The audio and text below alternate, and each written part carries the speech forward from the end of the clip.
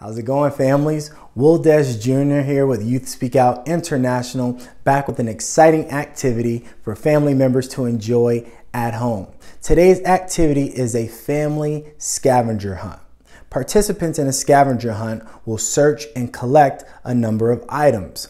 Your theme is everything in a scavenger hunt. You can be searching for Easter eggs, you can play detectives, you can be pirates looking for treasure or mysterious clues.